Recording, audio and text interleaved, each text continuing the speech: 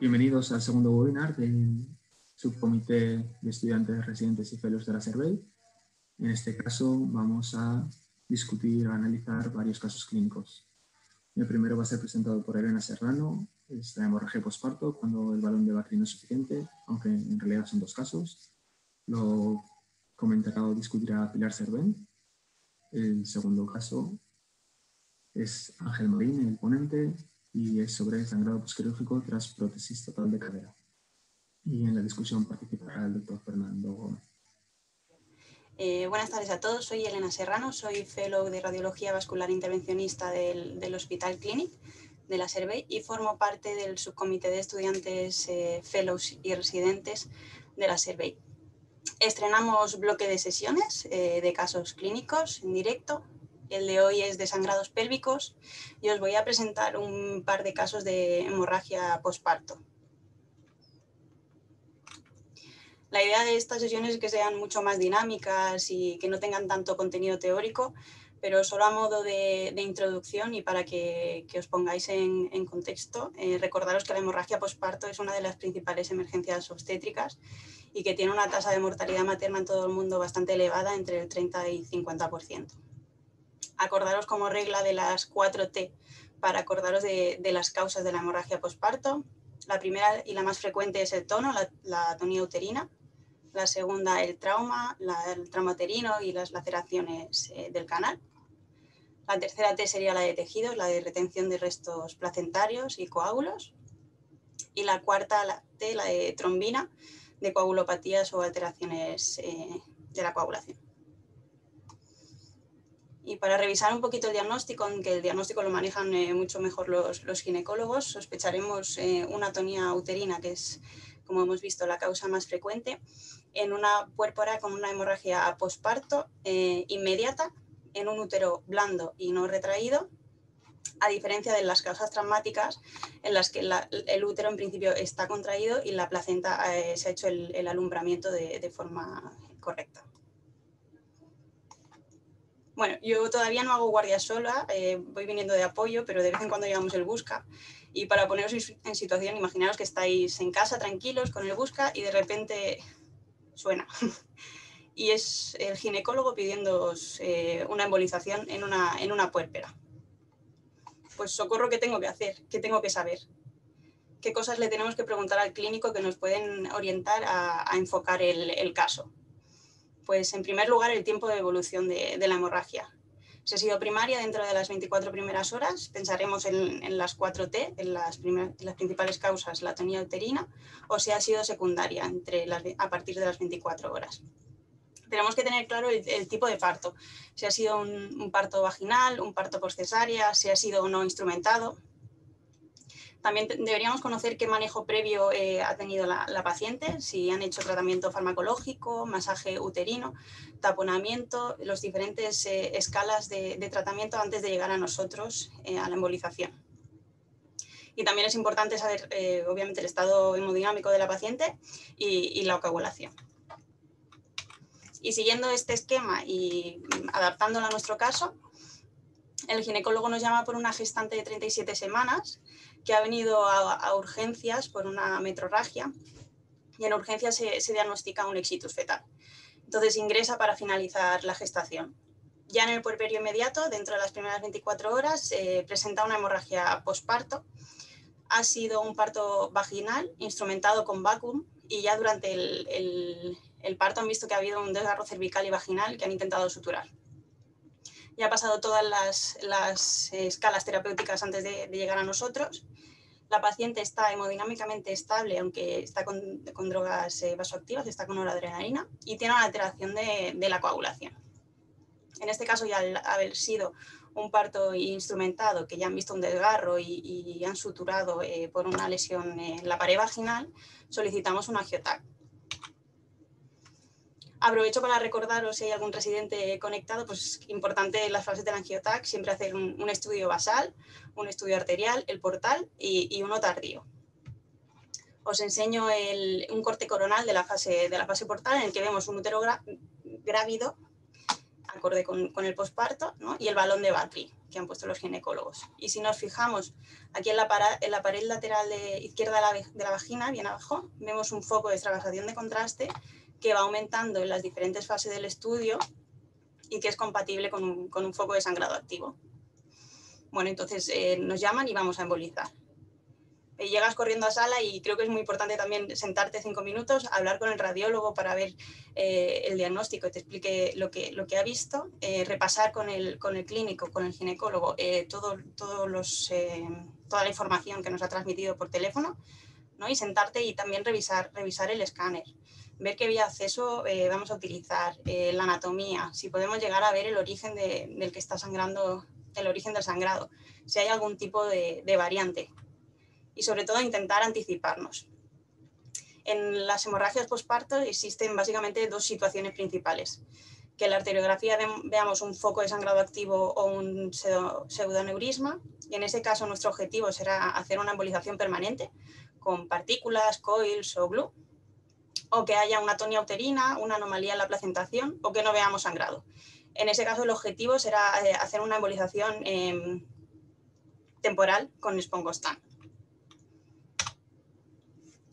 En nuestro caso, eh, optamos por un abordaje unilateral femoral eh, derecho. Utilizamos un introductor de 5 French. Empezamos haciendo una ortografía con un catéter pigtail para ver la anatomía y descartar, y, descartar focos de sangrado activo. Utilizamos un catéter Cobra e hicimos una serie eh, selectiva de la, arteria ilíaca interna con una proyección oblicua contralateral. Os lo enseño. Aquí veis la proyección oblicua derecha de la arteria ilíaca izquierda. Eh, acorde con los hallazgos del TAC, fuimos directamente a la arteria ilíaca interna izquierda después de la ortografía. Y aquí, en correlación con, lo que se veía en escáner, vemos un foco de, extravasación de contraste. La proyección no nos quedaba bien claro de, dónde dependía, de qué rama dependía. Utilizamos una proyección AP, un frente, y vimos que dependía de una, de una ramita distal de la arteria vaginal. Bueno, y con estos, con estos hallazgos pues nos encontramos ante esta situación. Vemos un foco de sangrado activo, entonces el objetivo es embolizar de forma permanente. Cateterizamos selectivamente la rama de la, que, dependía el, sangrado y decidimos embolizar con, con coils. Esta es la serie antes de la embolización y estas son las series después de la embolización eh, sin sustracción y con sustracción. Aquí vemos los COIs, no sé si se ven muy bien. Esto os lo enseño para que veáis eh, cómo durante las, series anteriores ha ido extravasándose el contraste y ha ido quedando reteniendo aquí, retenido aquí, confirmando el, sangrado activo. Y en esta serie de control veis que, se ha resuelto el, el sangrado. Y la ortografía final de control que hicimos en la que vemos que confirmamos que, se ha resuelto el, sangrado y que no hay ningún foco más de sangrado activo. Bueno, el, procedimiento lo hicimos con anestesia local. La paciente estaba consciente, al final, al, cerrar el, punto de acceso femoral, estuvimos hablando con ella y explicándoles que todo, que todo había ido muy bien. La señora estaba bastante eh, marcada emocionalmente por el éxito fetal y, durante, y, mientras que estábamos hablando con ella nos pregunta que, que, si con lo que hemos hecho se puede volver a quedar eh, embarazada y revisando la, literatura existente reciente, vemos que la, embolización pues, preserva la capacidad gestacional que es una de las principales ventajas del siguiente escalón terapéutico, que es la cirugía. Y en este, la evolución, eh, por suerte, fue satisfactoria. Fue, eh, progresivamente fue estabilizándose hemodinámicamente y no repitió eh, signos de sangrado activo al deshinchar el, balón. Y se fue a, se fue a casa de, alta pendiente de, los estudios de coagulación en este punto y antes de pasar al siguiente caso, me gustaría discutir un poquito con los ponentes eh, el caso, cómo lo hubierais hecho vosotros, si tenéis, qué tipo de experiencia tenéis eh, con, estos sangrados, con la hemorragia posparto. Pilar, Fernando. Eh, bueno, buenas tardes.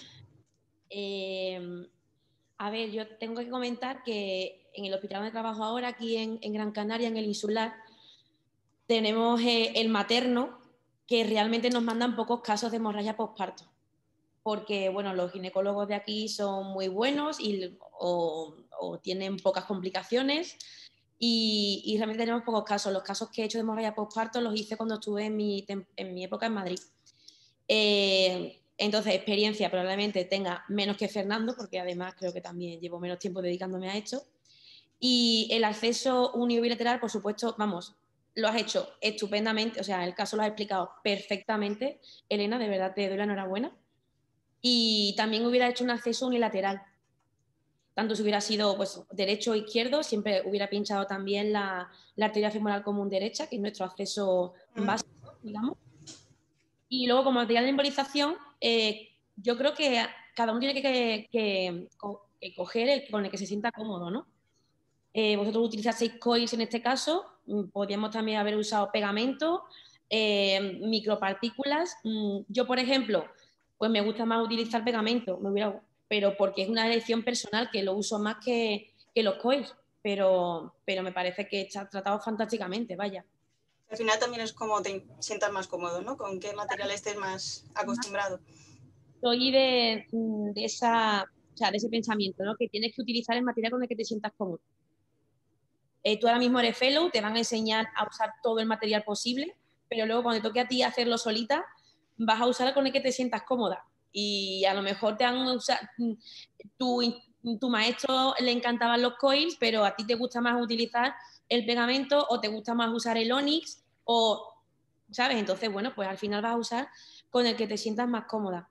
Y luego, en este caso precisamente, el Espongo Stand, pues hombre, podría haber valido.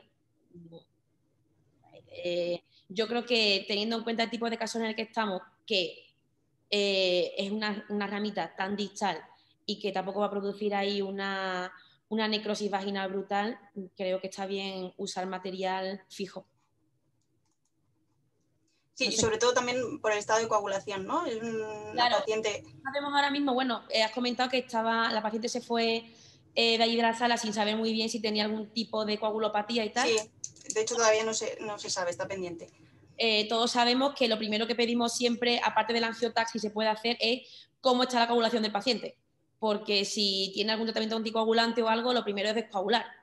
Eso es como la, norma básica y, primero tratamiento médico y ya luego entramos nosotros, pero siempre eh, la coagulación es como que, mm, pregunta básica y que no se nos olvide a todos los, a todos los participantes que estamos aquí ahora, eh, que nos están viendo, eso, coagulación súper importante y como tú has explicado súper bien, saber diferenciar muy bien entre si es una tonía uterina que siempre usaremos un espongo stand, o bueno, la mayoría de las veces, no vamos a decir siempre, ¿no? En medicina, eh, pero al contrario que el caso que has expuesto, que, al final es una zona, pues bueno, como cuando tenemos un sangrado muscular y tal, que, sí que se puede tener una embolización definitiva.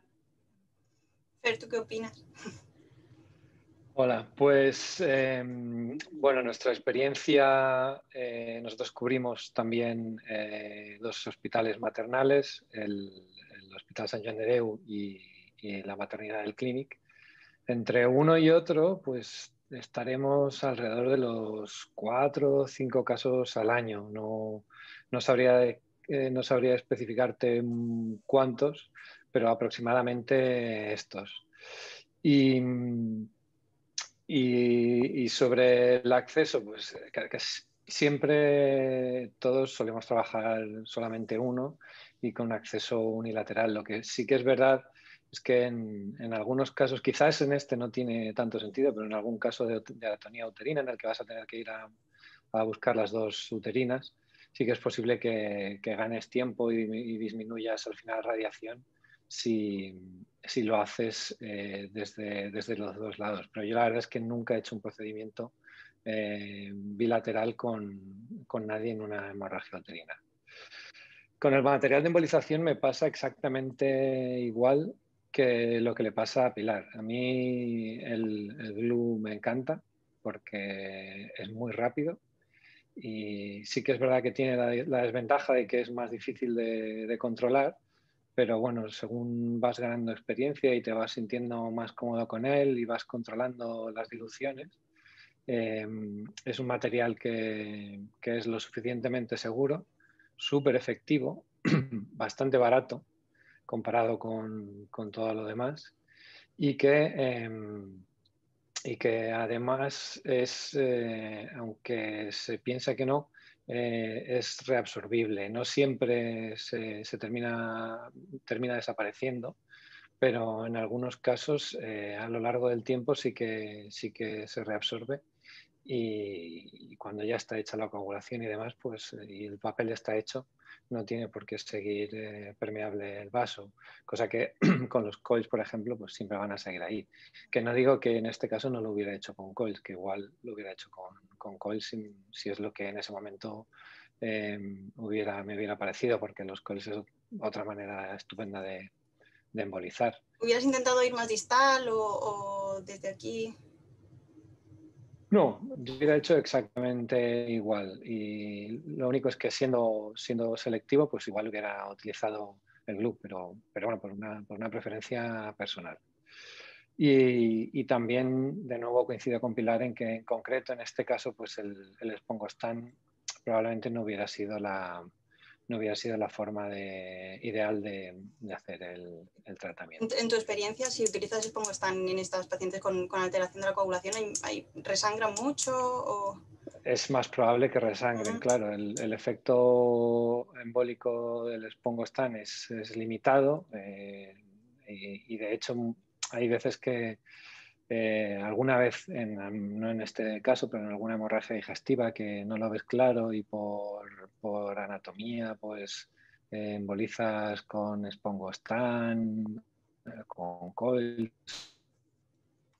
con espongostán, y a las 48-72 horas el espongostán se y te, y te resangran. bueno, nos ha pasado en, en muchos sitios. Y, pero claro, también tiene su utilidad en, otros casos.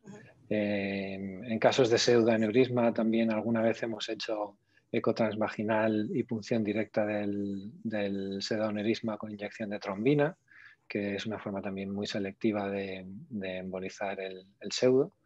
Y bueno, posibilidades todas las que se nos ocurra siempre que sean eh, seguras, claro. Fernando, eh, hay varias pues. preguntas que coinciden sobre la dilución del glue de Antonio López Rueda y de Elizabeth Cruz. que en este caso, ¿qué dilución de glue usaríais? Yo personalmente, en este caso, lógicamente dependerá de, lo distal que estés. Eh, si estás lo suficientemente distal, uno de, uno de glue y dos de, de o tres máximo es suficiente. Pero si no, si no estás lo suficientemente distal, eh, quizás Mm, tienes que tender más a un 75, perdón, a un, a un, eh, a un 20% de, de, dilución para que te, progrese bien y, no te polimerice muy cerca del, muy cerca del, de la punta del microcatéter. Yo además para el Spongostan utilizo una, una técnica de sándwich en la que pongo el, el perdón, el, para el glubran, el glue abajo y arriba dejo el glucosado eh, con lo que si, tengo que repetir la, inyección no tengo que recambiar el catéter ni, reposicionarme. Eh, por esto, porque al tener el, embolizante abajo y el, y el suelo glucosado arriba para empujar, luego dejar bien lavado el catéter, si ves que necesitas eh, hacer otra, otra inyección de, de glue, no, no tienes por qué volver a hacer toda la cateterización. Nacho, no sé si hay alguna pregunta más o... Vale, perfecto, pues gracias. Eh, sigo. Y como ha dicho Fernando, tenemos cuatro o cinco casos al año de, hemorragia posparto, pues este mes hemos tenido tres. No hay, todos los casos vienen de golpe y un par, un par de semanas después, pues nos llaman por otra, por otra hemorragia posparto. Siguiendo con, con el esquema que hemos explicado antes, en este caso se trata de una gestante también de 37, de 37 semanas que acude a urgencia por metrorragias importantes en el tercer trimestre. En urgencias se diagnostican una, placenta previa, el, niño tiene una presentación podálica y entonces acaba, acaba una cesárea. La hemorragia se produce en el puerperio inmediato, dentro de las primeras 24 horas. El tipo de parto, como hemos dicho, es un parto por, cesárea, en el que además han visto un acretismo placentario que no era conocido. Ha pasado por todos los escalones terapéuticos farmacológicos, masaje uterino y el taponamiento antes de que nos llamaran. Y en este caso la coagulación estaba bien y la señora está, está estable al ser una cesárea y venir del, caso anterior en el que había un foco de sangrado activo, también le solicitamos un, un angiotac. Os enseño el angiotac, también dos cortes coronales, la fase arterial y la, y la fase venosa. Vemos también un, un, útero grávido. Y al principio yo no estoy muy acostumbrada a, este, a estos hallazgos eh, eh, de las puérperas, pero vemos el útero muy aumentado de, tamaño y hay una captación ¿no? como áreas de captación aquí en la, en la, pared uterina, que ojo que no son sangrados activos, son los restos placentarios que, que, han visto en la cesárea. Importante también sentarnos, eh, repasar con el ginecólogo eh, la sospecha clínica y repasar la, anatomía y el, y angiotac. Podemos hacer incluso en un momento reconstrucciones, eh, reconstrucciones del angiotac para ir un poquito más orientados. La anatomía de la arteria ilíaca interna es eh, muchas veces un horror, pero yo creo que si, si, te miras el con un poquito de cariño, luego te ayuda mucho y te facilita localizarte. Os lo repaso. Eh, aquí en naranja veríamos la, arteria ilíaca común o primitiva, en azul la, arteria ilíaca externa. Y en lila la arteria ilíaca interna. Que recordar que se divide en, tiene una rama, una división posterior de donde surgen las arterias sacras, las, las glúteas, y una división anterior de la que se origina la arteria uterina, que es esta que vemos aquí marcada en, rojo. Este es el lado derecho y en el lado izquierdo también, pues eh, revisar para, localizar la, anatomía. El abordaje fue, fue igual, hicimos una ortografía inicial con el catéter Pigtail, en la que vimos eh, las arterias uterinas hipertróficas y aquí no vimos eh, signos de sangrado activo. Os pongo también una, serie, una foto de una serie un poquito más de la serie un poquito más tardía en el que vemos la correlación ¿no? de estos restos placentarios de las lagunas venosas que se veían en el escáner. Y esta es una situación, es el otro escenario que planteábamos. ¿no? Eh, nos encontramos hasta ante una placenta acreta y el objetivo sería una embolización temporal en principio con, con espongostán. Entonces, en estos casos hay que hacer una embolización eh, bilateral de las arterias utelinas, si es, si es posible. Os pongo una proyección oblicua derecha contralateral de la arteria ilíaca interna izquierda, en la que vemos el origen de la arteria uterina. Y si os acordáis del TAC que hemos visto de las reconstrucciones MIP, pues eh, cómo se correlaciona con los hallazgos y cómo nos ayuda ¿no? en, este horror de anatomía que a veces es, es muy, es un lío eh, orientarse a localizar la arteria uterina y las ramas distales. Hicimos una embolización con, con espongostán, em, cateterizamos la, arteria uterina con el mismo catéter cobra hicimos una embolización con espongostán y vemos cómo, ha habido una correcta oclusión, ¿no? con, una oclusión también de, de, las ramas distales. Y en el lado derecho eh, lo mismo.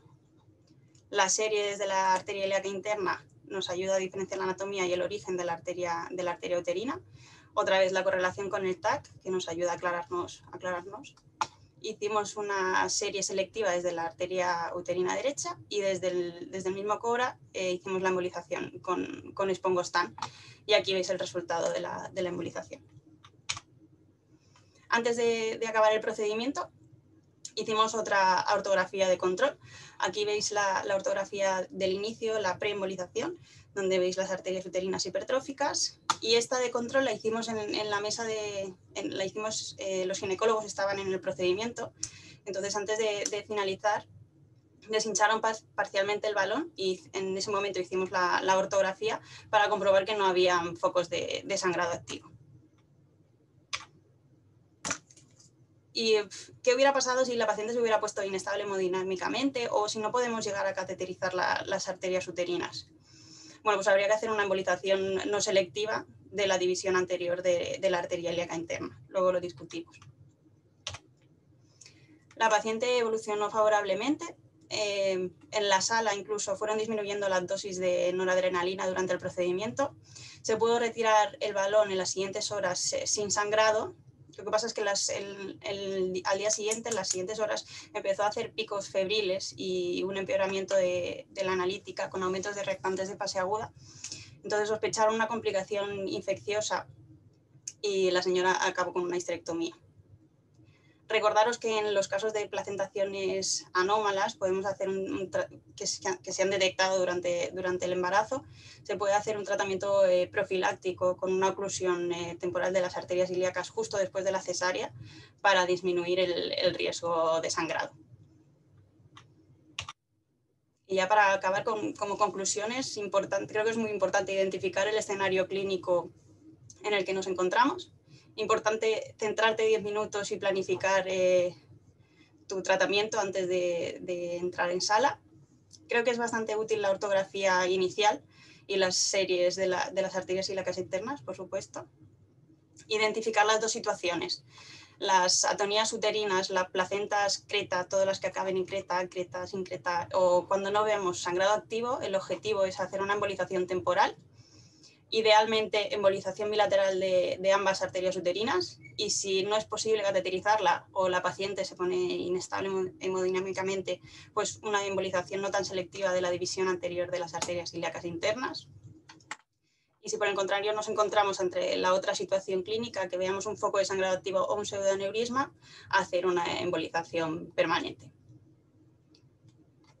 si queréis, he preparado algunas preguntas, Fernando Pilar, para, para vosotros. No sé si hay alguna pregunta también por el chat, Nacho. De momento no hay ninguna pregunta. Bueno, Pilar Fernández, no sé si eh, vosotros haríais angiotac en todos los casos o en qué casos sí, qué casos no. A ver, yo soy de la opinión que siempre que se pueda, porque esta paciente estaba estable, ¿no? Sí. Que se pueda, a nosotros, bueno, ya lo has explicado súper bien, la anatomía que vamos a ver en el angiotac te hace hacerte un mapa mental a ti ya como radiólogo vascular, ¿no? De lo que te vas a encontrar en la sala. Sabes que las arterias uterinas van a estar hipertrofiadas, que se supone que va a ser fácil encontrarlas, se supone. Pero si tienes un angiotac te ayuda muchísimo. Y además eso lo has dicho estupendamente. Así que yo si se puede, sí. Fernando. Sí, ya yo también estoy de acuerdo en esto con, Pilar. Eh, el angiotac te facilita muchísimo la, vida a la hora de planificar el procedimiento. Entonces, eh, siempre, si tienes una paciente que es, eh, está claro que es una atonía y que está inestable o un poco cogida mm, con pinzas, mm, te la puedes pasar a la sala y, bueno, pues sabes que vas a ir a hacer una embolización con con espongostán de las, de las uterinas. Pero a poquito que, tengas la más mínima duda y siempre que se pueda, eh, tener la información anatómica del, del angiotaque es, básico. ¿Y siempre utilizáis espongostán? ¿El glue creéis que puede ser útil en, estos casos de, de, anomalías en la, en la, placentación o en atonías uterinas? Hombre, yo en atonías uterinas eh, clásicas el esponjita, porque al final lo que quieres es que pare el sangrado durante un, corto tiempo, ¿no? Y que luego ya vuelva otra vez el útero, porque en principio son gente joven que querrá tener eh, más hijos, o si no quiere tenerlos, me da igual, pero que quiere preservar su órgano. Eh, el papel del glue, hombre, ya lo hemos comentado antes, ¿no? Es más, es más definitivo. No te queda más remedio porque le pones espongo extraña, que ellos sigue sangrando y ves que la paciente ahora pues te plantea otra cosa. Y bueno, al final, fíjate, esta, paciente eh, tuvo una complicación y tuvo que acabar en, una epidemia. Eso tampoco se sabe cuándo empiezas. Y yo a partir de ahora voy a decir lo que diga Pilar. Porque, pensamos lo mismo. Es, eh, en, estos casos, en estos casos en concreto, eh, ir al, al GLU, pues eh, por mucho que sea algo que en seis meses haya desaparecido, no tienes la total seguridad de que sea así y, bueno, es, ese hecho les pongo está en lo que, lo que se ha utilizado y lo que se ha venido usando. Alguna vez sí que es verdad que alguna, algún caso de algún compañero que haya hecho con partículas o, o con glue pero sinceramente eh, no veo la necesidad de, ir a eso cuando lo que buscas es ganar un poco de tiempo para dar, eh, para dar lugar a que se vaya contrayendo el útero y, que, la hemorragia cese por, efecto de la contracción del, útero, no, por, no tanto por, tu embolización, que no es más que una ayuda a, parar la hemorragia. En casos de resangrado, por ejemplo, eh, ¿embolizaríais otra vez con Eh, es que pocas veces, eh, pocas veces nos ha pasado que resangren y nos lleguen. Casi siempre, si resangran y están muy malitas, van a histerectomía. No sé, Pilar, lo, lo que hacéis allí. Ya te digo que nosotros, si a ustedes os mandan cuatro o cinco casos al año, nosotros nos mandan uno o ninguno, eh, aquí en, Gran Canaria. y ellos, ya te digo yo, conociendo a los ginecólogos de, de aquí, irían directamente a cirugía, probablemente. Vale. ¿Y habéis hecho algún caso de oclusión con, balón para evitar la hemorragia en, las placentas acretas, incretas? Yo ahí lo que diga Fernando, porque yo no tengo experiencia. Sí, nosotros eh, desde hace unos años empezamos con esto y no hacemos muchos casos pero uno, dos, el año que más hicimos fue hace tres años que tuvimos tres. Eh, ahora que hemos empezado con, también con, con San Juan de Deu, quizás tenemos alguno más, pero bueno, eh, técnicamente es algo relativamente sencillo. Lo único que sí que sí que hay que, que, tener muy claro es que todo tiene que estar muy, muy bien organizado y muy ordenado y que hay que tener mucho cuidado con, con qué balones se utilizan, dónde se ponen, cuánto se hinchan para, para evitar complicaciones arteriales. Fernando, existe una pregunta sobre eso de Jaime Fernando Landa que dice que cuánto tiempo se dejan los balones eh, en la profilaxis de la placenta normal. Pues a ver, em, nosotros cuando, cuando termina, nada más terminar el ginecólogo de, de, operar, eh, deshinchamos los balones sin, moverlos. Si, no hay un sangrado importante, los dejamos deshinchados en el sitio. Deshinchados, pero en el sitio por si, eh, por si, por si resangra. Y si en las siguientes 6-12 horas no ha vuelto a resangrar, entonces ya le, quitamos los, balones y, los introductores. Em, si, sangra, lo, dejas, eh, lo dejas hinchado y, lo, que, lo que solemos hacer es eh, bajarla todavía, pero lo que, lo que tenemos eh, previsto es que si hubiera un sangrado que bien pese a que los balones están hinchados no, no cesa o que cada vez que deshinchas los balones reaparece, bajaríamos a la sala y, embolizaríamos. Perfecto. En este caso sí que haces acceso bilateral con dos introductores y un balón Sí, sí. Bueno, y Nacho, ¿hay alguna pregunta más? Sí, Andrés Madrid ah. pregunta que si tenéis un track de doble energía o si no hacéis eh, estudio basado en el track. Antes sí que lo has dicho, pero no sé si, en las imágenes lo, muestras sin contraste. O... Sí, hacemos estudio basal. Basal arterial, portal y, tardío en algunos casos, sí. Y también pregunta qué ventaja ofrece la, ortografía.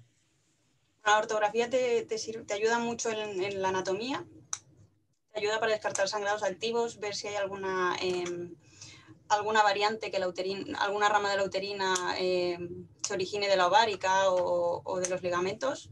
Yo creo que como mapa es bastante útil. Vale, no, es que también yo entiendo que hay gente que si tiene un buen algebra se evita la ortografía, creo, que es lo que que decir. Eh, una pregunta de Geray, que yo también pienso lo mismo, sobre que Fernando explique un poquito la técnica que ha dicho de sándwich del líquido con glucosado, porque creo que puede ser muy interesante. Sí, básicamente tú lo que haces es en, en una jeringuilla, pongamos de 3 cc's, lo que haces es eh, calcular el volumen de, pegamento que vas a utilizar. Pongamos que por el, tipo de rama que vas a tapar necesitas 0.5 cc de, la dilución de Glugran.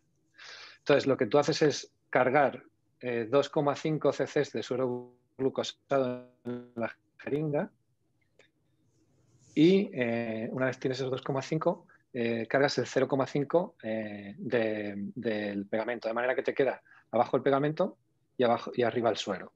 Esta jeringa, lógicamente, la tienes que tener todo el rato boca, eh, hacia abajo para que, para que no, no, se mezcle o no se, no se te mueva la dilución. Y, después de lavar con, con, glucosado el microcatéter, empujas en, eh, esto, conectas eh, la jeringuilla e inyectas como si inyectaras con exactamente una jeringa llena de glue. saldrá primero el, glucosado y la, y el, perdón, saldrá primero el glubran, luego el glucosado irá arrastrando un poquito de glubran. Después de eso, inyecto otra jeringa de glucosado porque sigue habiendo algo de, de, glubran en el microcatéter y después paso contraste. Y el contraste, aunque el contraste lo inyecto también despacio, porque aunque pienses que el microcatéter está limpio, siempre queda un poquito de, de, de glubran y de, y de lipiodol. con lo que, con el contraste sí que lo arrastras y no lo, no has arrastrado con el glucosado. Y una vez tienes limpio el microcatéter, pues si ves que estás listo, adelante y si no, no. Esto es, sobre todo es súper útil en las, en las embolizaciones portales, porque si eres muy selectivo, si no vas a tener que cambiar de microcatéter un montón de veces. Y con esto, con, con dos, tres microcatéteres, te puedes hacer una, una derecha y el 4 fácilmente. La última pregunta de Elizabeth Cruces dice, a veces al usar el como están es frecuente que el catéter se tapone. ¿Qué trucos tenéis a la hora de prepararlo para evitarlo? Pues hombre, el están hay que cortarlo muy finito, ¿no? Pero eh, a mí, por ejemplo, una de las técnicas que me enseñaron era básicamente limarlo, ir limando con el bisturí el están para hacerlo polvo. Y con eso tardas un rato, es verdad, pero bueno, sabiendo que lo vas a hacer así, desde el principio pones a alguien a, mm, básicamente con un bisturí a, tallarlo y hacerlo polvo de pongostán y con eso es difícil que se te, se te obstruya el catéter. Eso es uno de, de los trucos que me dieron a mí. Lo que diga Pilar. Yo no lo había escuchado eso, pero, pero bien. Y pues eso, eh, en el Puerta de Hierro, cuando, donde hice la residencia y, luego hice el fellow, con, con, Santi Méndez, fue el que me, me, ponía allí a, a, limar el espongo stand. Vale, pues yo creo que, bueno, justo iba a decir que no hay preguntas, pero Alfonso ya le dice, ¿habéis probado el Embocube? Yo no. ¿El, el perdona? Cube. Perdón que hay ruido de fondo. Sí, eh, bueno, nosotros ahora nos hemos eh, acomodado un poco y, hemos pasado de, cortar el, eh, o limar el Spongostan al EnvoCube. Y bueno, va bien. Tienes diferentes tamaños, pero al final muchas veces lo que haces es tender a usar el, de tamaño más pequeño y diluirlo según el tipo de catéter que vayas a, utilizar eh, pues eh, más o menos. Eh, es más caro, es más cómodo, pero si quieres hacer una dilución muy, muy, muy fina, la mejor forma es como, como ha descrito Pilar, lo más, cortarlo o limarlo lo más, lo más fino que puedas. Perfecto, pues pasamos al siguiente caso de, la presentada Ángel Marín. Sí, yo dejo de compartir. Muchas gracias a, los dos y a todos. Bien. A ti. ¿Me veis bien? Sí, perfecto. Vale. Mm, buenas tardes a todos. Mm, primero agradecer a, a, la organización de estas sesiones y esta iniciativa y por la invitación y la oportunidad de estar aquí. Mi nombre es Ángel Marín soy eh, hago parte del equipo de radiología intervencionista del Hospital de Viche Joan 23. Soy adjunto junior, llevo poco tiempo, ¿no? Hace poco inicié las guardias y vengo a compartir un caso que tuve eh, hace poco. Se trata de un hombre de 70 años sin antecedentes de interés que ingresó para una cirugía programada para un recambio de prótesis total de cadera derecha. Durante la intervención ya el paciente presentó inestabilidad hemodinámica que requirió drogas vasoactivas, empezó con acidosis metabólica y necesidades de concentrados de matías. En el posquirúrgico inmediato, en la RPQ, el paciente continúa y aumenta la inestabilidad y empieza con drogas vasoactivas a dosis altas y acidosis persistente. Además empieza a exteriorizar, a sangrar por la herida quirúrgica, eh, se anemiza hasta 6 gramos de hemoglobina, inicia en transfusión masiva y ahí es cuando recibo la llamada al busca, ¿no? Eh, es un paciente que lo, es un postquirúrgico inmediato, está en la sala al lado de los quirófanos en recuperación. Eh, les pregunto, paciente está inestable, eh, con dosis alta de noradrenalina y con sistólica baja, 60-70. Y les pregunto, lo primero que les pregunto es si no han considerado reintervenirlo inmediatamente, ya que están ahí para no perder tiempo. me dicen que bueno, los que lo han operado no saben si el sangrado puede ser profundo y el hematoma que ha hecho, el sangrado por la herida, dice que puede ser muy complicado y, solicita la embolización. Eh, yo les digo de realizar un angiotac para tener un mapeo, además que el angiotac, mm, digamos que está cerca a la sala de angioradiología, el paciente baja, se le realiza el angiotac. Ese, eh, bueno, pongo directamente los focos de sangrado que se vieron en el angiotac, son ¿no?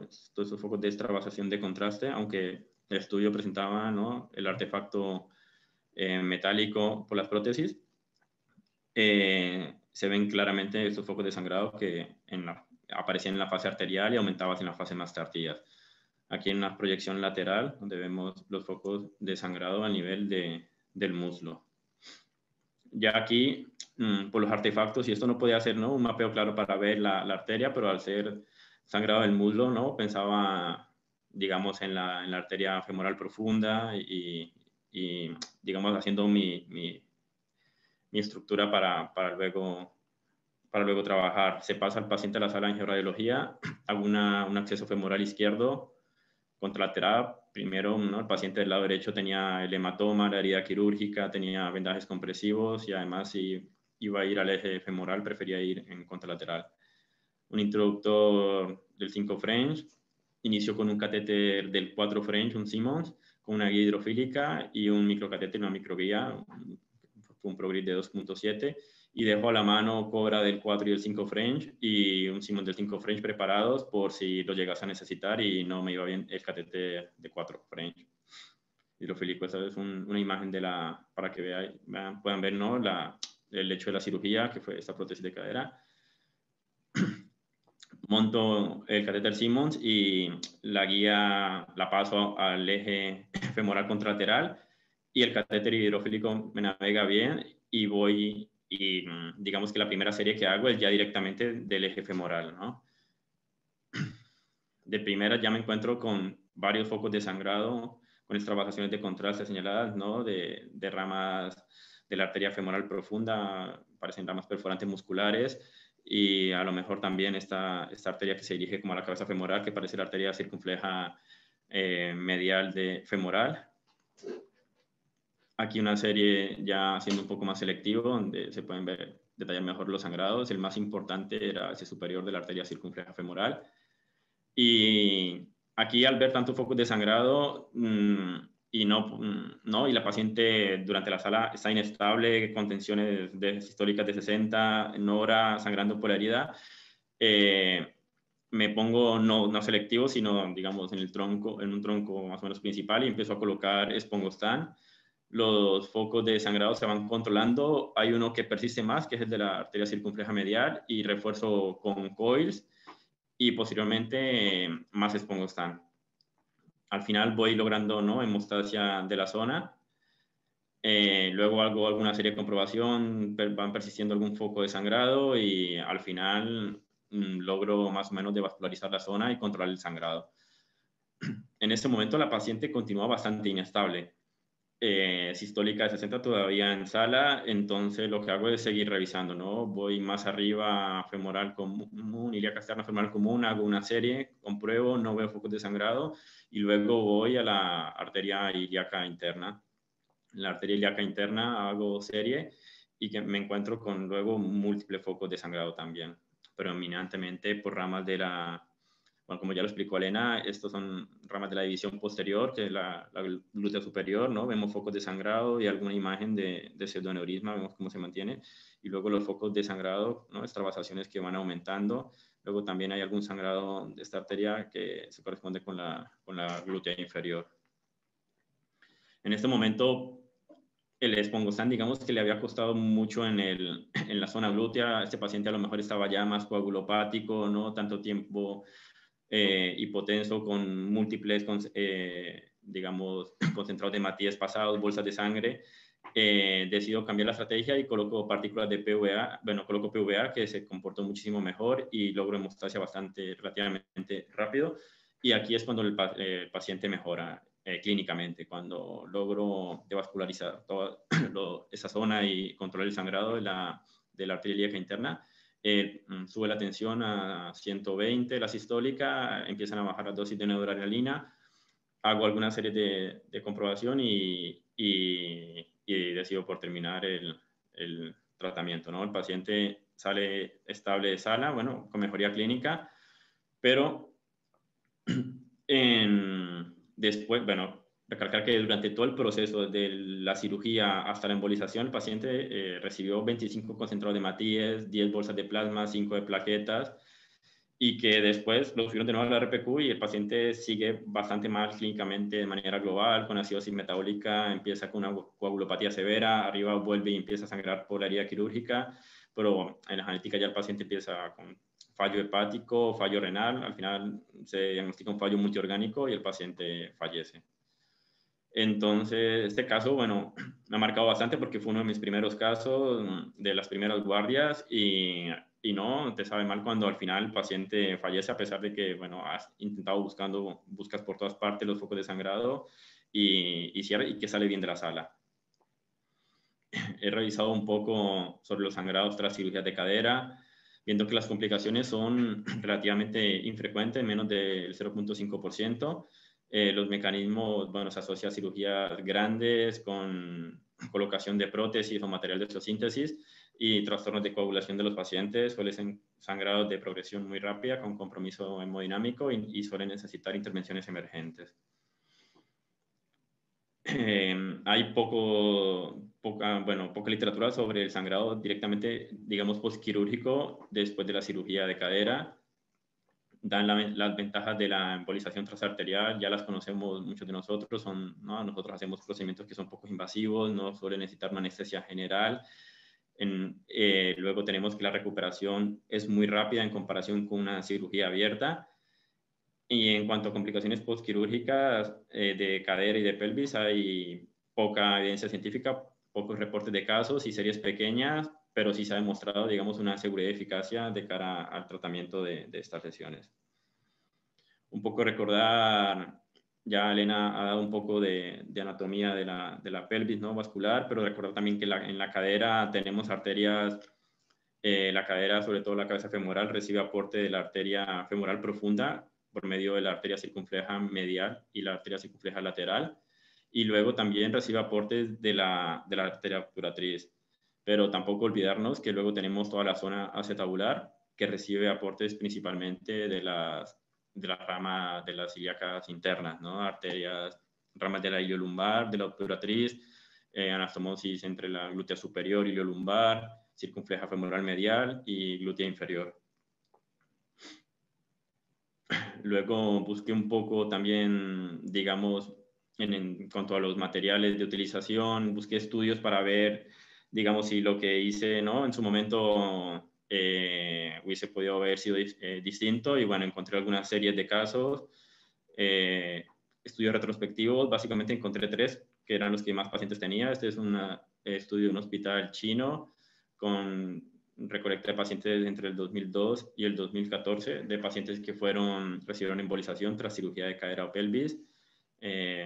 recolectaron 22 pacientes, 13 de ellos de cirugía de cadera, entre punciones epilaterales o contralaterales habían 13 y 9, no especificaban por qué escogían un lado o el otro, si era simplemente por gusto de, que realizaba el procedimiento, no, no especificaban.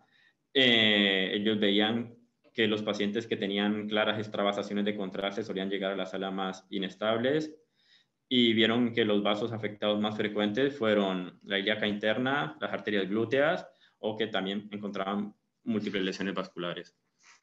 En este hospital, los materiales de embolización fueron, que utilizaron generalmente fueron coils, espongostan y PVA. Y el tratamiento fue exitoso en el 95% de los pacientes. Una paciente falleció a pesar de una embolización exitosa por un fallo multiorgánico después de la embolización. Eh, tomografía computerizada, angiotax, mm, decía que se hizo en muy pocos pacientes eh, debido a la poca disponibilidad en ese hospital para, del angiotac para emergencias. Eh, también ellos justificaban en que podían estar artefactados por las prótesis metálicas y que había menor sensibilidad del angiotac por la inestabilidad de los pacientes. Y luego ellos dentro de la discusión, ¿no? ellos se aclaran, por ejemplo, que ¿no? de, lo, de los materiales que utilizaron y coil y esas cosas, pero sí hacían énfasis en que cuando hay un paciente con múltiples ramas, recomendaban un bloqueo proximal o una embolización proximal. Y de cara a la paciente que falleció, eh, fue una de las pacientes que más se tardó entre los síntomas y llegar a la embolización, entonces hacen hincapié en la importancia de llegar lo más rápido posible a, hasta la angioradiología de esos pacientes que están inestables. Aquí un poco mm, tablas de resumen del artículo, más que todo para, para, ver que las arterias cuando nos enfrentamos a una lesión de la cadera suelen ser ¿no? las ramas o bien de la, de la ilíaca interna, sobre todo las arterias glúteas y del eje femoral. Y luego del material, como ya lo expliqué, ellos utilizaron sobre todo coils, espongostan y PVA. Eso es un, un poco más de lo mismo. Este es otra serie italiana, un estudio también retrospectivo, recolectando pacientes del 2002 al 2010 y de pacientes que se embolizaron tras una cirugía ortopédica. Aquí encontramos siete pacientes de cirugía de cadera. Estos pacientes todos tenían angiotac. Y en este caso, la embolización utilizaron coils o plaque cuando veían sangrados o extravasaciones. Y ah, hubo también pacientes que tuvieron eh, pseudoneurisma, sobre todo en arteria de calibre mayor, y colocaron este encubiertos, no tuvieron complicación, no encontraron complicaciones, e inclusive en las conclusiones, digamos, la discusión, ellos recomiendan la embolización como primera línea de tratamiento en lesiones vasculares tras cirugías ortopédicas. Y esto es un poco, ¿no? La tabla resumen sobre todo para, para ver que las arterias suelen, ¿no? Repetirse ramas del eje femoral y del eje ilíaco, sobre todo las arterias glúteas. Y aquí lo que les dije, material de embolización, coils, algún amplatzer para los sangrados y algún estén cubierto para pseudoneurismas en arterias de mayor tamaño. Y luego tenemos un, hay una serie, otra serie italiana, también retrospectiva, donde recogieron pacientes tras, que recibieron embolización tras cirugía electiva ortopédica. Aquí estos recolectaron 31 pacientes, 23 de los cuales eran cirugías de cadera Mm, aquí ellos sí dicen que de los pacientes que recolectaron, todos tenían, ¿no? sobre todo lesiones de pequeño vaso, el angiotac no especifican mucho, y aquí del material que utilizaron llama la atención que, bueno, son una escuela distinta y utilizaron sobre todo pegamento en 28 de los 31 pacientes y, y están en tres pacientes. Y nada, un poco más las arterias, lo que digo, cuando nos enfrentamos a algo de cadera, suelen ser las mismas y, aquí el material pues es distinto, ¿no? Sobre todo el pegamento. Entonces, un poco para concluir de cara a este caso, ¿no? vemos que la embolización en las lesiones vasculares, hay estudios que demuestran que es segura y eficaz en la cirugía de cadera. Eh, importante utilizar un esquema de trabajo, ¿no? cuando nos enfrentamos a un paciente, ver el acceso que vamos a obtener, si es ipsio contralateral, alisar un material, tener ¿no? primera, segunda, terceras opciones de cara a material de trabajo y también ir pensando en material de embolización. Eh, realizar las series adecuadas y pensar siempre en los posibles orígenes del sangrado. Si no vemos, eh, si vemos que el paciente no mejora, digamos, seguir buscando siempre. Luego el material de embolización, Mm, yo creo que a lo mejor ¿no? utilizar con el que mejor sentamos dominio y más aquí en estas arterias de la pelvis que ¿no? muchas veces son arterias osteomusculares que no tienen, digamos, mayor problema en, taparse definitivamente, entonces tenemos como oportunidad de, elegir.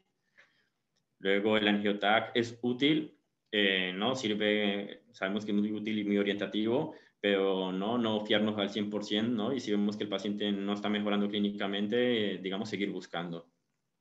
Y luego, cuando tengamos un sangrado de cadera, revisar siempre la llaga interna y el eje femoral.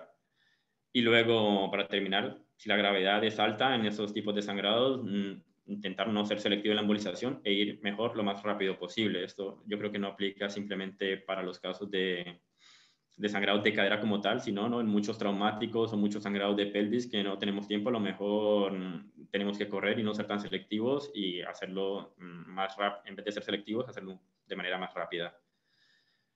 Y bueno, este es el caso clínico. Muchas gracias. Bueno, yo tengo, bueno, respecto a mi caso, ¿no? Fue uno de mis primeros casos y yo que tenía algunas preguntas, ¿no? Sobre todo, por ejemplo, ese paciente ya de entrada tenía múltiples focos de sangrado, a lo mejor estaba mm, coagulopático, ya el FOAN al principio, el espongostán, claro, le costaba coagular, no sé, en el sangrado este del muslo o inclusive en el de la, en el de la ilaca interna, eh, de el material sobre todo, ¿no? Hubiesen utilizado algún otro tipo de material o qué material hubiesen utilizado de entrada, ¿no? De cara a que también el paciente estaba inestable, no, se no tenía que ser algo más rápido que selectivo, ¿no? O cómo lo hubiesen hecho. ¿Quieres empezar tú, Pilar? No te voy a dejar ahora a ti. vale, mira, lo primero que, me, y me parece muy importante eh, es una cosa que has dicho en las primeras diapositivas y que creo que es algo que, deberíamos hacer siempre. Y es que eh, el caso, eh, aunque el paciente no esté todavía en, la sala, empieza cuando, cuando te das una vuelta por el almacén y vas pensando en qué cosas vas a, vas a tener que utilizar y vas cogiendo los catéteres, microcatéteres, introductores, cortos, largos, por si ves que vas a tener que, utilizarlo por algún motivo, porque tenga unas arterias muy tortuosas, lo que sea. Entonces es algo que yo creo que, es una, cosa que está muy bien y que, que deberíamos hacer siempre. Y, y, una vez dicho esto, eh, yo creo que el caso lo hubiera hecho exactamente igual que tú. El problema mm, fundamental es que quizás ha, habido un poco de retraso a la hora de, ir de, ir Hemos ido por detrás del sangrado, muy, muy por detrás, en vez de ir un poco por detrás para poder eh, anticiparnos a que, a que llegáramos a la situación esa. Yo cuando, cuando he visto las primeras diapositivas de angiografía, eh, ya me, solo de verlo me cansaba, mm, porque ver tantos puntos de sangrado y demás, eh, pues bueno, sabes que, sabes que estás delante de una cosa que es muy posible que, que, no vaya, que va a requerir mucho trabajo y que quizás no va a ir del todo bien. Porque cuando tienes tantos focos de sangrado, es claramente porque hay un, problema de, coagulopatía. El, hematoma va creciendo, va disecando planos, va rompiendo arteriolas y capilares, van apareciendo nuevos focos de sangrado y entonces es la pescadilla que se, que se muerde la cola. Em, lo de usar eh, PVA en la, en la interna en vez de en, vez de está bien, en ese caso está bien. Además, las partículas irregulares, sabes que no van a llegar tan distales, que son, eh, tienen un efecto embólico que además luego puede desaparecer relativamente rápido porque no, porque no, tienen, no se compactan tan bien como las compresibles. Pero es que no creo que hubiese hecho las cosas muy diferentes de, de lo, que, de lo que hiciste tú. Eh, quizás al final, que supongo que lo haríais una reunión entre todos para, ver en qué partes se, ha podido hacer mejor y agilizar el, proceso de llamar al, al intervencionista en el, punto que toca. Eh, una preguntilla, ¿era una prótesis primaria o era un, recambio? Era un recambio. Vale. es, que los recambios es mucho más habitual, como ya sabéis. Bueno, yo poco tengo que añadir ahora. Eh, ya, Fernando, eh, lo mm, súper importante en el momento que vemos tantos focos de sangrado es que lo que dices, ya te cansa, dices, madre mía, me voy a meter aquí menudo follón y lo primero que tienes que pensar es que ya, pues eso, hay coagulopatía y que el hematoma es tan grande que he disecando planos y que aquello, eh, perdóname la expresión, es un carajal eh, importante. Eh, a lo mejor yo les pongo stand, lo hubiera usado, pero porque tampoco es que lo use mucho. Cuando veo que son planos musculares, arterias ya musculares, pues suelo usar ya directamente otro tipo de, material. pero, pero poco más. Y el acceso también hubiera usado el mismo, me hubiera ido contralateral eh, también. O sea que poco que añadir. Hay una pregunta de Antonio López Rueda en el chat. Dice, ¿hubierais hecho arqueografía como primera serie angiográfica? Y si se ve sangrado en ramas glúteas y pélvicas, ¿por cuál de ellas empezaríais? Porque también añade, ¿se sabe qué sangrados o zonas son más inestables? Yo hubiera empezado por, o sea, quizás eh, como el angiotac no era demasiado bueno porque tenías la prótesis que te hacía artefacto, igual sí que hubiera hecho una, una orto. Y empezar, empiezas por donde veas la, o debes empezar por donde veas la extravasación más, más importante. Eh, poco, poco más. Que si, pues yo que sé, por lo que sea, se te va de repente el microcatéter a una que, es, mm, que te ha entrado, que sangra y que es fácil, le metes un chupito de, de de partículas o lo que sea y te vas enseguida o lo antes que puedas a la, a la hemorragia de, de, mayor volumen. Totalmente de acuerdo.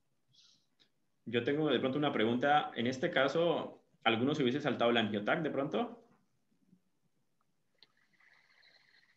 Yo no. Yo si se puede, ya, bueno, ya lo he dejado claro antes. Si el paciente estaba en quirófano, estaba inestable, pero bueno, entre lo que tú llegas muchas veces, lo que tú estás en casa, pues las guardias nuestras son localizadas, en lo que tú llegas se le puede hacer un angiotac.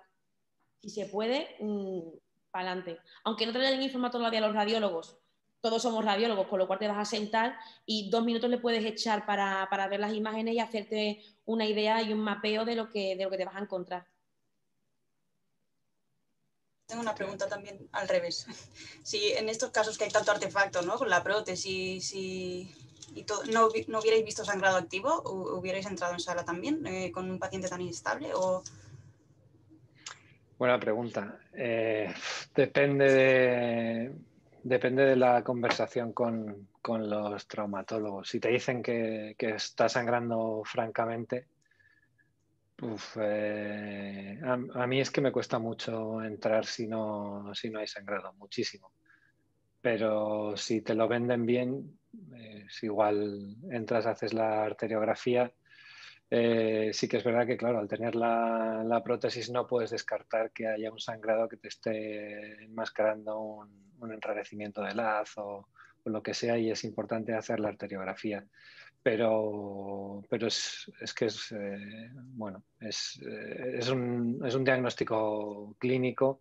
Además, el, el, trauma ahí lo ha visto y si lo ve claro, aunque no se vea muy, muy bien en el, en el angiotac, como está la, o sea, la, la prótesis de cadera, y te han dicho que el paciente tiene clínica de estar sangrando por arterial, yo creo que sí que entraría, aunque me coste. Yo también. Vale, y otra pregunta, en pacientes que están totalmente coagulopáticos, este paciente ¿no? estaba inestable, disecando y aparte ¿no? tendría una coagulopatía de consumo porque estaba ¿no? sangrando todo el tiempo, ¿algún material que crean que vaya mejor que otro de cara a una embolización no selectiva, digamos, mejor las partículas que les pongo están, o si quieres ir rápido y que cierre mejor en, esos pacientes que ven tantos focos, o se decantan por alguno, o... Te toca, Pilar. Yo te diría que no ir tan distal, sino ir a ramas más proximales, que son más fáciles de, tratar, ¿no? Y pues cogería pegamento o, bueno, pegamento Onyx, es que a mí me gusta bastante ese tipo de material, porque eso cierras y, está, y ya es, mucho más rápido. En mi experiencia. No cogería coils porque el coil tarda un poquitín más y está coagulopático, no voy a, no voy a a lo mejor puedes meter el pegamento y luego ponerle un coil ya para terminar de cerrar aquello, pero yo iría por algo que te cierre directamente y que tengas tu experiencia. Si a ti te gustan más las partículas, pues para adelante con las partículas, pero yo en mi, en, mi experiencia, eh, cuando tengo un sangrado así, que he tenido varios, bueno, no de cadera, pero mm, pacientes graves con sangrado así, eh, lo primero que digo cuando entro a la sala, vete batiendo Onix y, o, pegamento, cualquiera de las dos, digo, me da igual. Mm, pero es lo que suelo usar. Y ya te digo, y más proximal, en vez de tan, ir tan distales, tan distales, sabiendo que son ramas musculares, pacientes mayores que tampoco se van a poner ahí a entrenar, ¿sabes? Pues eh, puede ser un poquito menos selectivo.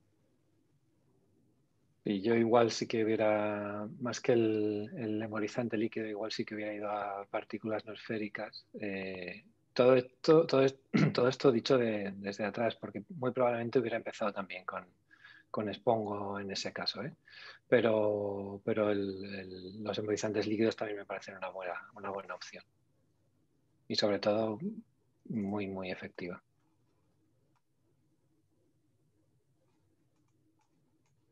Vale, no sé si hay más preguntas. Hay varias preguntas en el chat.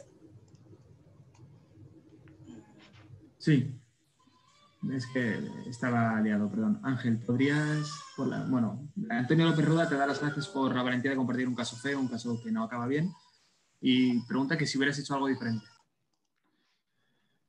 Mm, bueno, luego replanteándolo, a lo mejor ahora en ese paciente viendo que siempre, eh, siempre estuvo mal, ¿no? Sangrando, a lo mejor hubiese intentado apurar un poco más, ¿no? Haber ganado más tiempo, a lo mejor lo que dice Pilar, eh, menos selectivo. A lo mejor ponerme en, el tronco de la arteria de la femoral común y desde allí empezar a, poner partículas, pues pongo, pero, pero más rápido, ¿no? Y luego, bueno, eso, yo creo que allí, sobre todo en el muslo, ¿no? Ir a poner el coil arriba y esto, bueno, a lo mejor directamente el tronco digamos, siendo ramas musculares y relativamente seguras, pues haber puesto allí y perder menos tiempo. También me, quedó, me quedaba duda de si haberme saltado el angiotac, el angiotac en su momento, porque en este paciente creo que se perdió fue mucho tiempo, ¿no? Se llegó como a un estado muy avanzado que luego fue irreversible, ¿no? Una coagulopatía, consumo un fallo multiorgánico por hipotensión mantenida de, de, desde el momento, desde el quirófano, el postquirúrgico inmediato, bajar al angiotac. Entonces, esa ida al angiotac no sé si realmente también contó como tiempo y esa duda la tenía si, si debía haberlo pasado primero directamente a sala, digamos, ¿no? Pero bueno, también por eso lo quería compartir. Bueno, ten en cuenta que es posible que en, no demasiado tiempo en, casi todos los hospitales con, con, que son referencia para politrauma eh, va a haber eh, sala, quirófanos que van a ser quirófano, TAC y sala de angiografía para, para este tipo de cosas. O sea que eh, el, tiempo que se va a perder entre una cosa y otra va a ser mucho menor. Jerry Aguilar pregunta, ¿alguien utiliza sustancias a través del Michelson o del catéter para descubrir sangrados como nitroglicerina? Y pregunta que si alguien lo usa, ¿cuál, ¿qué sustancia utiliza? Yo en algún sangrado digestivo he utilizado heparina, pero con escaso éxito. No, solamente una vez me parece, eh, y no sé si lo vi o lo quise ver, eh, vi que, hubiera extravasación.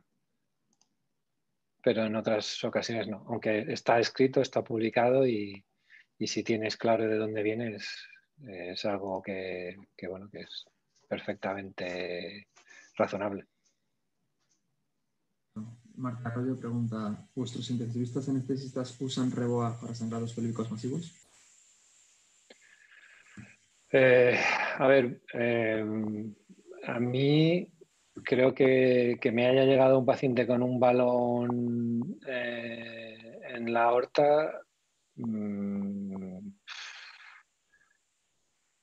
tantos, eh, pero bueno, es algo que se hace en, muchos sitios. De hecho, antes hablábamos de las hemorragias de uterinas y eh, al principio una de las cosas que se planteaba era si, colocar un balón de oclusión aórtico en lugar de, lo planteaban los, ginecólogos, ¿eh? porque ellos decían que, bueno, que muchas de las ramas que van a ser responsables de hemorragia en esa en ese sangrado eh, igual no van a venir de las hipogástricas. Y que, su, por su punto de vista, lo que iba a ser más efectivo era colocar el balón en, en la, en la aorta previa a la bifurcación. Bueno, en, eso, en ese caso es matar mosquitos a cañonazos, yo creo. Si, si es para un sangrado pélvico masivo que, que no tiene posibilidad, igual, pues eso, igual si le hubieran colocado un balón entre que sale de quirófano y se, y se va a, hacer el angiotac, pues, pues hubieran ganado algo de tiempo, pero, pero no sé, yo, yo no he tenido no, sabría decirte, ¿eh? pero muy, muy, muy pocos casos. Yo ni, vamos, no, no poco que decir aquí.